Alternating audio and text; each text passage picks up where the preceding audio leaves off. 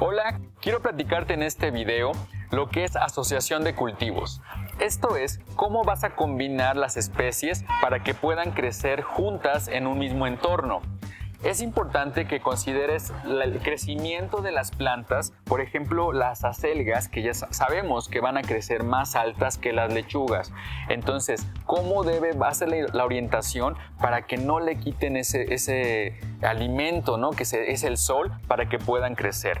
Las especies, vamos a ver que, por ejemplo, una zanahoria va a tener más tiempo de vida en, la tierra porque dura más su, tiempo de, cosecha, es mayor que una lechuga. Entonces, esta, por ejemplo, que ya la vamos a quitar, prácticamente ya está a los tres meses lista para cosechar, al momento de retirarla, le vamos a dar ahora espacio a esta zanahoria para que siga creciendo. Podemos colocar ahí una pequeña lechuga que va a empezar su crecimiento y cuando ya esta esté lista para poderla cosechar, ya la lechuga pues ya terminó su proceso.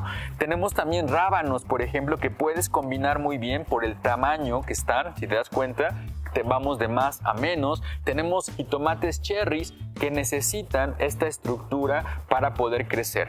Entonces, de esta manera es como vamos a ir asociando los cultivos considerando tamaños de hoja, también tiempos de cosecha y el hecho de que plantas pequeñas van a poderse colocar juntas porque cuando tú ya quites la que ya creció, puedes poner otra y de esa manera vas a tener un huerto sustentable.